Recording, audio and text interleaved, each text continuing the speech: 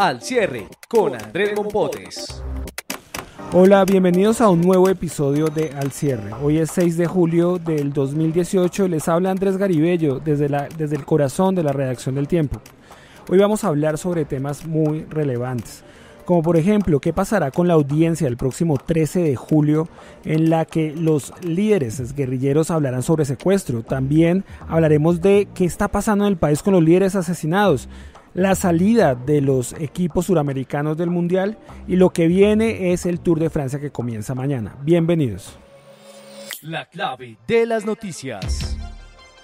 El tema clave es que el próximo 13 de julio va a haber un evento histórico, 32 exintegrantes del Secretariado del Estado Mayor de las, de las Guerrillas las FARC van a estar hablando sobre secuestro en la JEP. Fue una exclusiva que sacó Marisol Gómez, eh, editora de la Unidad de Paz del Tiempo. La tenemos acá hoy en esta eh, versión de este, de este podcast. Nos va a comentar que en estas últimas horas, ¿qué se sabe, Marisol, de esta audiencia? ¿Qué más detalles? ¿Qué pueden esperar las víctimas? Eh, bueno, para empezar, Andrés, para hacerle seguimiento a esta noticia, la JEP le hizo una corrección hoy al auto mediante el cual llama a comparecer el próximo 13 de julio a, todos los miembros del Secretariado del Estado Mayor de las FARC. Son 31, hoy hizo la corrección, sacó de la lista a Olmedo porque luego de una verificación encontró que Olmedo, que es uno de los, que los, de los congresistas por Antioquia o que estuvo en la campaña para Congreso por Antioquia, no está incluido, ya él no lo notificó que no tiene que presentar el 13 de julio.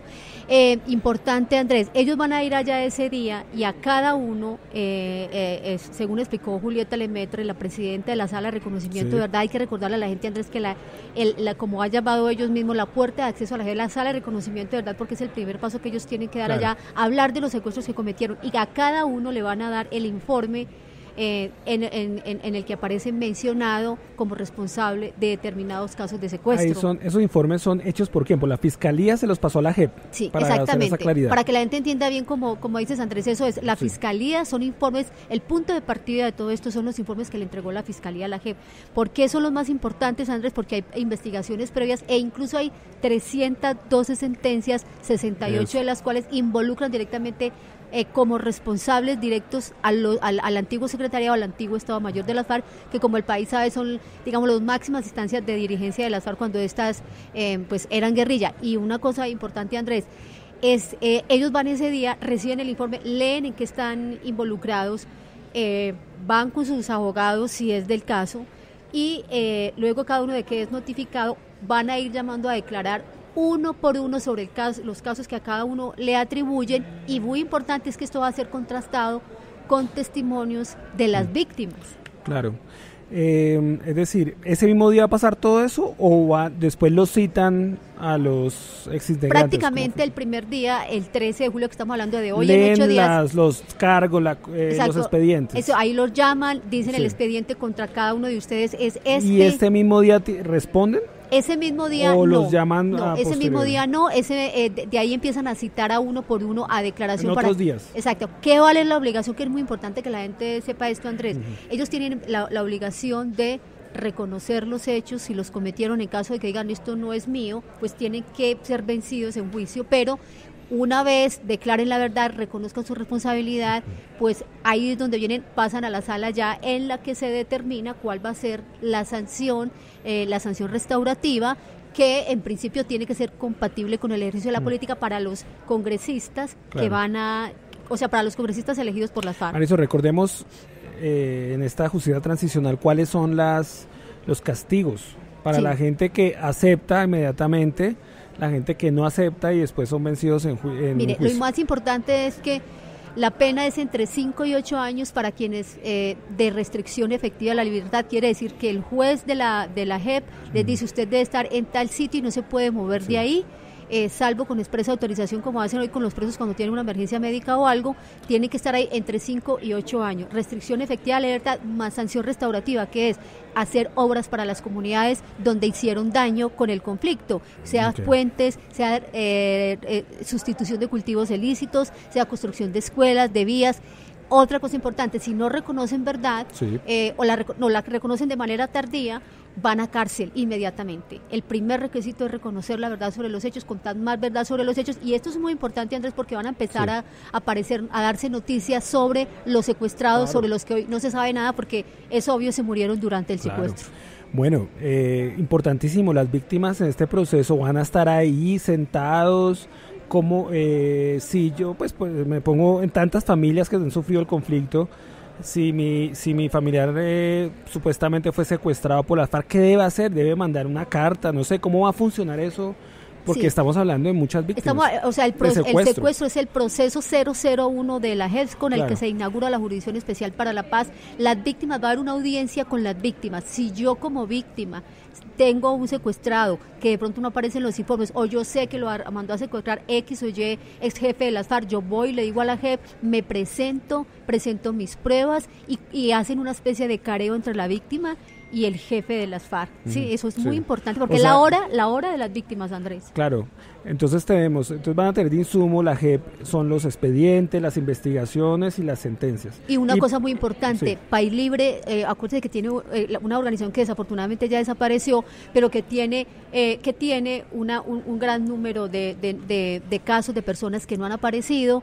Eso también tiene la confrontación con la gente, antigua gente de País Libre. Pero todo ese paquete lo van a recibir ellos o, o durante este proceso pueden ir a, las víctimas pueden ir allá a la JEP a decir yo quiero, yo yo quiero que me... Absolutamente. Toda víctima que tenga cómo demostrar que un jefe de la FARC ordenó el secuestro, que, la, que su familiar puede, puede, presentarse allá y por eso es tan importante la Jurisdicción Especial para la Paz, porque es la hora de la verdad. Claro. Así de sencillo, es la, hora de la verdad. Sí. ¿Y eso tiene un tiempo?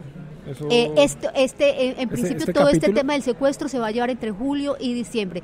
Es un tiempo provisional, mm. pero la JEP lo puede extender. Si empiezan a aparecer, como usted dice, Andrés, un montón de casos y es necesario alargar todo el expediente y la investigación sobre el tema del secuestro. Bueno, ojalá, ojalá se encuentren responsables y tal. Y la última pregunta que ha rondado en redes, y esto a raíz de esta noticia, eh, ¿qué tanto estas, como estos eran los del secretariado y tal, qué tanto pueden decir, mire, el responsable de eso fue fulanito que era el jefe de la cuadrilla, del frente, el no sé qué yo no cómo va a funcionar eso, porque ese es como la principal tema, están hablando de impunidad, pues que ellos no van a responder nada, sino va a ser uh, de pronto subalterno, no, eh, no tengan el mando en ese caso, entonces pues ¿cómo va a funcionar eso? Eh, Andrés, es importante, es muy importante esa pregunta suya, ¿por qué? Porque, a ver, primero, eh, hay, hay, que recordarle al país que como no se pueden investigar los N mil casos que sucedieron en el medio del conflicto atribuidos a guerrilla, atribuidos a militares o a policías o a agentes del Estado, porque aquí hay que hablar de todos, esos casos... Eh, eh, eh, es importante decir que ellos, eh, como máximos responsables, deben,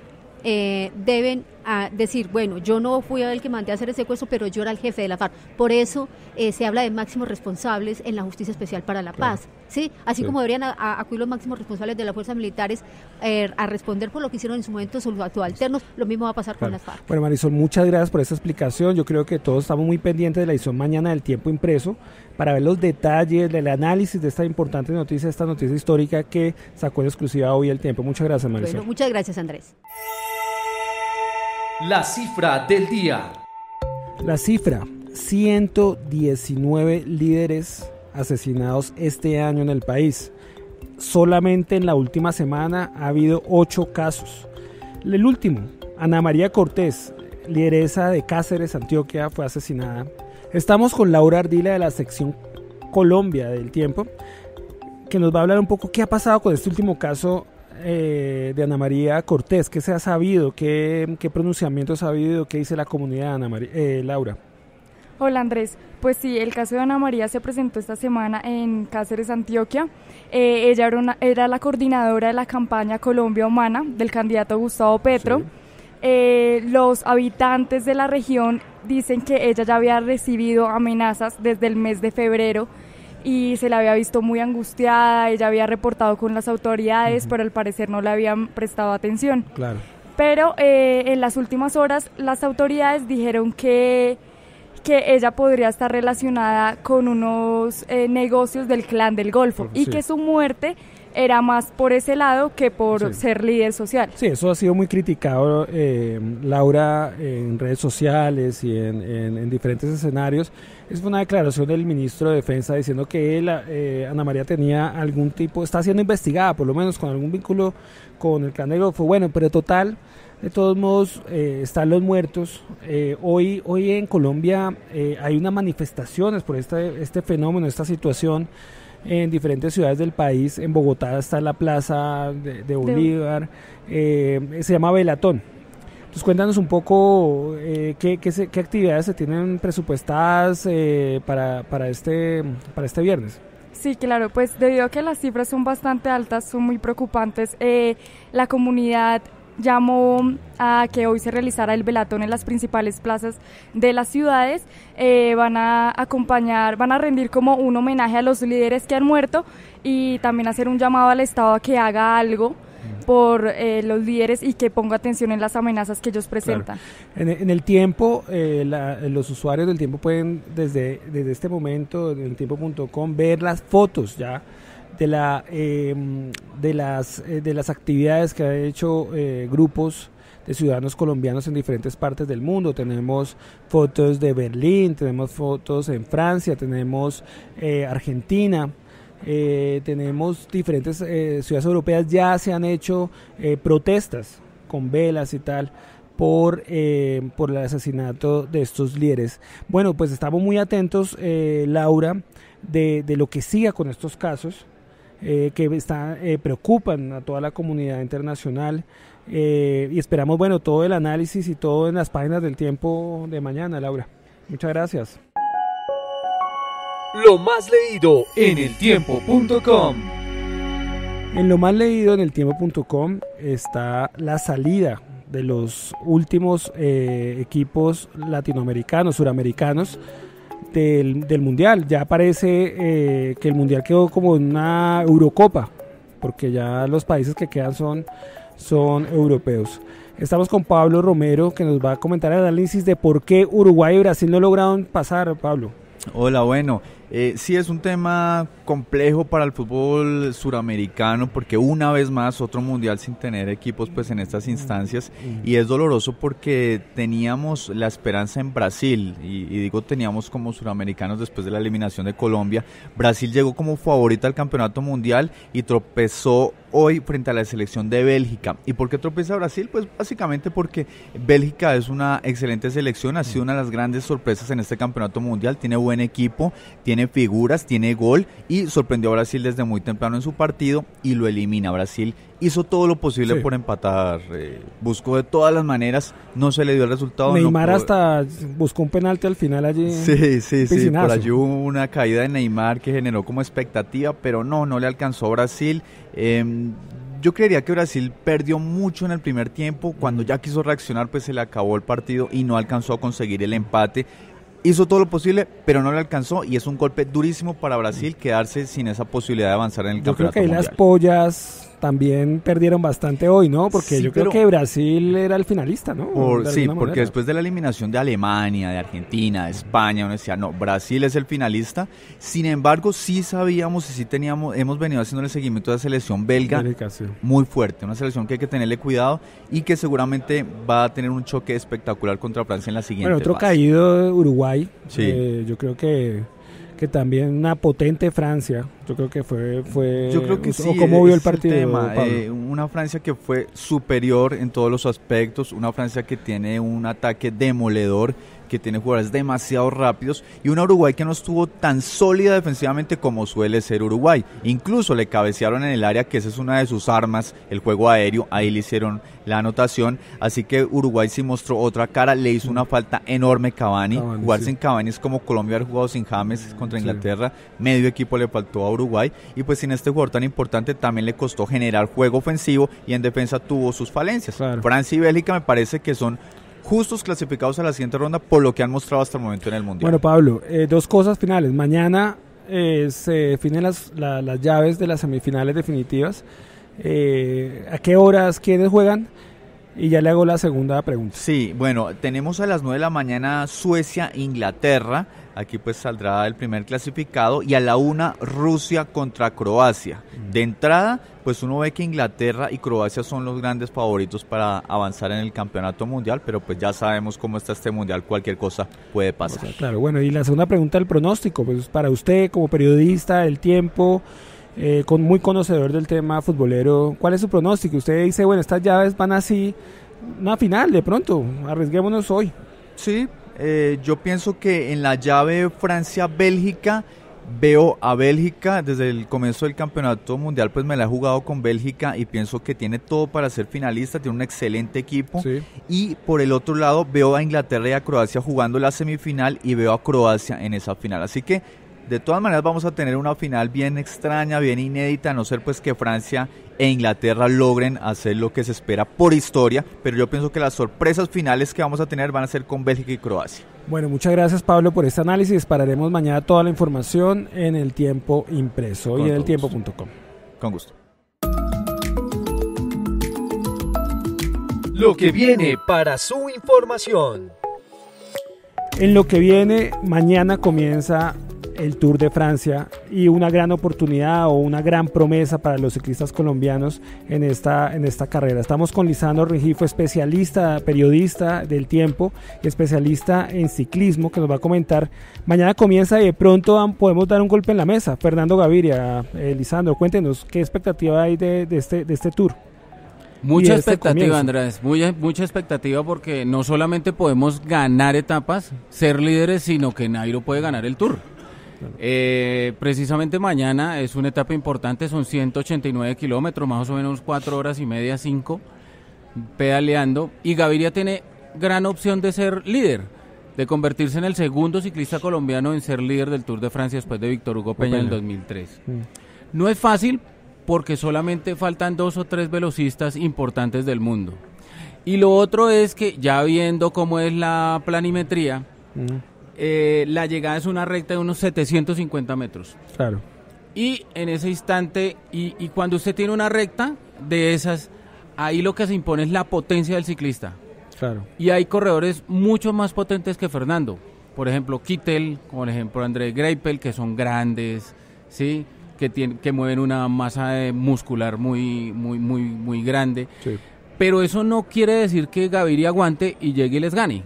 Eh, tiene una desventaja porque a él le sirven más las llegadas en curva y que en una recta por ahí de 300 o 400 metros, claro. no una recta tan larga. Pero esa es la opción claro. y hay que jugársela. Claro. Sí, eh, bueno, eh, yo he visto en medios internacionales, incluso también en el tiempo.com, ya empiezan como esos careos de alguna manera para decirlo entre, entre ciclistas, ¿no? Entonces Contador dice que Nairo, bueno, un, un ciclista ahí como regular, eh, bueno, ¿qué, qué, sea, ¿qué se sabe de Froome? ¿Qué, ¿Qué, se dice? No sé, ¿qué se ha dicho de, nuestros, nuestros deportistas? Bueno, eh, Froome es el principal candidato, no le quepa la menor duda que arman un equipo en torno a él, que él llega bien preparado y la gran incógnita de él es si tuvo el suficiente tiempo para descansar después, del, Giro de Italia, algo que no ha podido hacer ni Contador, ni Nibali, ni Nairo, que intentaron el doblete y no pudieron. Pero Froome es un monstruo, lo ha demostrado, es el mejor del mundo de los últimos tiempos y todo se puede esperar con él. Bueno, y acá le algo, Egan Bernal va a estar ahí al lado de él, o, como gregario, ¿cuál va a ser el, colombiano que va a ser? En, primera instancia, él va a ser un gregario de, de Chris Froome. Si la carrera si la carrera lo determina de otra forma, si, si Froome pierde minutos y, y Egan tiene la suficiente eh, fuerza en sus piernas y mentalidad para aguantar esas tres semanas y llegar de cierta forma a ser líder del Sky, seguramente lo va a hacer. Pero eso lo define lo que lo, el, transcurso de las etapas. Ok. Bueno, eh, ¿qué, ¿qué realidad tiene para este tour, digamos, otros personajes como Rigoberto? Rigoberto, eh, ¿qué, qué, posibilidades tiene? Yo creo que Rigo, Rigo es un corredor que tiene 31 años, hace su quinto o su sexto Tour de Francia, ya tiene su experiencia suficiente, viene de ser segundo y yo creo que sabe correr. Yo creo que si él eh, tiene la suficiente mentalidad ganadora, si tiene si psicológicamente y físicamente está bien, puede llegar a pelear el top 5, incluso el título. Pero, si, pero el candidato 1A colombiano a, pelearle es Nairo Quintana. ¿Y en general Nairo está bien, regular, bien? ¿Cómo está? Bueno, eh, Nairo es, una, es un ciclista que hace su quinto tour, ha sido dos veces segundo, una vez tercero y el año pasado fue puesto 12 y tiene todas las posibilidades de ganar. Lo mejor dicho, esta es su oportunidad. No hay disculpa. Él se entrenó para el tour, él diseñó su programa para el tour, no, no tuvo tanta carrera como los años anteriores, llega un poco más descansado psicológicamente, con mucha menos presión, no mm, su, su, condición de líder del Movistar no era ganar en los primeros seis meses, sino llegar al Tour. Así que esta es su oportunidad y seguramente si él está bien, va a pelear la carrera. Bueno, Lisandro, para terminar, ¿a qué horas la gente puede empezar a ver la carrera? ¿Desde qué hora? Eh, ¿A qué horas empieza más o menos? ¿6 de la mañana, 5 de la mañana, más o menos? Eh, a la, yo eh, he visto que los comerciales de televisión, los que van a pasar los, a las seis y media ya pueden empezar a ver una carrera. Es una etapa larga que está terminando tipo 10, 10 y media de la mañana. Bueno, de todos modos, el cubrimiento minuto a minuto en vivo eh, en el tiempo.com y después todo el análisis en el impreso del tiempo. Muchas gracias, Lisandro. Bueno, Andrés. Bueno, esto es todo por hoy en este nuevo episodio de Al cierre. Los esperamos el próximo lunes en la tarde para conocer los mejores temas, los mejores análisis y que pasen un buen fin de semana. Hasta luego.